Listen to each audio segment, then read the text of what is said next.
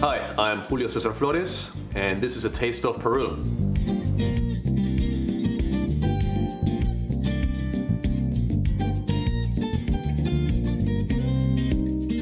I'm from Lima, Peru. It's the capital city. It is the only coastal capital city in all of South America uh, and one of the largest cities in the world. Lots of people, lots of culture, lots of food. Ceviche is the national dish of Peru. It's a very simple dish of just fish, onions, ají peppers, and lime juice. It was actually invented in Peru in the northern part of the country on the coast, where my family comes from, where the Moche people used to live before the Inca Empire. They were fishermen. There were people that lived at the sea, and they would go out in reed boats and bring the fish back to the coast and marinated in acidic fruit before the Spanish brought the citrus. And that's where the ceviche came from. Okay, so now we're gonna deep fry this octopus to go on top of our ceviche. The garlic is gonna act as an adhesive for the flour. The Peruvian coast having one of the richest fishing grounds in the world. There's so much seafood, you just you just love everything you can get out of the sea. You eat ceviche every single day. Every single day, that doesn't matter where you are. but it, always eating at lunch. Growing up, my dad had a cevicheria, which is a restaurant that specializes in ceviche and, and coastal seafood. That's actually where I get most of my inspiration for the cuisine that I make now. My dad makes really good ceviche. So just gonna deep fry this octopus till it's nice and golden. Octopus is already cooked, so we're just looking for a crunchy exterior. I love octopus fried, grilled, not just fried octopus, I mean, it's usually fried seafood. Whatever comes out of the sea, deep fried, just give it to me. That looks good, that's perfect. It's nice and golden, you can tell it's crispy. I wanna eat it right now. We salt it while it's hot so the salt sticks to it, just a, just a tiny bit. Seafood tends to be a little briny, so it doesn't require that much salt to season. So I have my fish, really fresh, really beautiful striped bass. It has a really nice texture for ceviche. Just cut the fish in half, like so, and then start slicing down. Depending on where you're from in Peru, there's actually different cuts. In Lima, you usually see diced. My family comes from the northern part of Peru, from the town of Trujillo. We actually like to do slices. Not too thick, but also not too thin. Basically, bite-sized pieces. The first thing that I like to do when I make ceviche is start with these three ingredients the way my dad likes to make it.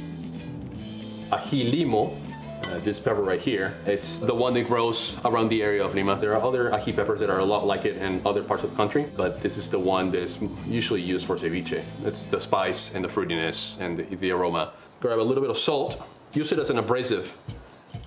Crush the ají limo, it releases its oils and aromas. Perfumes the fish as it sits in there. So we have our sliced fish, our ají limo garlic, and cilantro in this bowl. You're gonna do a quick cure. You'll use a little more salt than you think you need uh, because the amount of lime juice is so acidic, it actually needs the salt for it to be balanced in flavor. Peruvian cuisine is all about freshness. You don't wanna use pre-squeezed lime juice. Actually, lime juice changes in flavor uh, the minute you squeeze it. You want a good amount of lime juice in there. So what's gonna happen as the fish sat there with the salt and the other ingredients and cured, it actually also broke, uh, the proteins broke down into amino acids, creating that flavor that we like to call umami. It also pulls a lot of uh, other minerals and it mixes with lime juice. It'll be nice and white once it's done, and that's what we call it, leche de tigre, or tiger's milk. And I think that's good right there. The most important thing is fresh ingredients. It's a really, really simple dish, so when you make a simple dish, you want to make sure that you have the best ingredients possible because uh, you have nothing to hide uh, bad ingredients behind. Growing up, we didn't have any farmers markets. They weren't needed. If you went to the market, that's where your fishmonger was, and that's where the fruit lady was, and the vegetable lady was, and the bakery was, and that, that's how I grew up. I was always around amazing food. Their typical accompaniments are choclo, which is Peruvian corn, this is the corn that we eat in Peru. We don't have the sweet yellow corn. This, this is essentially what, what we eat. And then we have cancha, which is kind of like corn nuts. If you go to a cevicheria in Peru, the first thing they put on the table, it's a little bowl of cancha. The Japanese sweet potato, it's a little sweeter, it's a little earthier, it's even a little floral. It's really nice. There's always onions on your ceviche, and traditionally, a piece of lettuce. Uh, it adds more freshness and a little bit of green color. Peruvian food is so colorful yellows, reds, purples, pinks, greens, all of them. We like to use products at the peak of their ripeness. That's why they're so, so colorful. When we like it juicy, reason why you eat ceviche with a spoon and not a fork.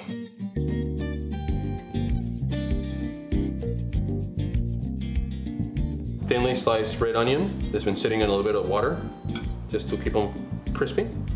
Fried octopus goes on top. You can put as much octopus on here as you want, but you also don't want to hide your ceviche because that's the star of your dish, right? And like these little pieces you can keep for yourself as a little snack. Okay, so this ceviche looks amazing. The fresh fish and you know tartness from the leche de tigre, the freshness from the lettuce, the sweetness from the octopus, the starchy break from uh, choclo and the cancha, and then your fried octopus on top. Let's try it. Yeah. Gonna put a little bit of piece of little piece of octopus on there. Mmm. If your ceviche doesn't look like this, somebody's not doing it right. That's that's real ceviche. That's actually really good. Um, the limo is so aromatic and spicy at the same time. It, it doesn't kill you. The crunchiness of the octopus, the brininess. It's just a really well balanced dish. That's why it's one of the best dishes in the world.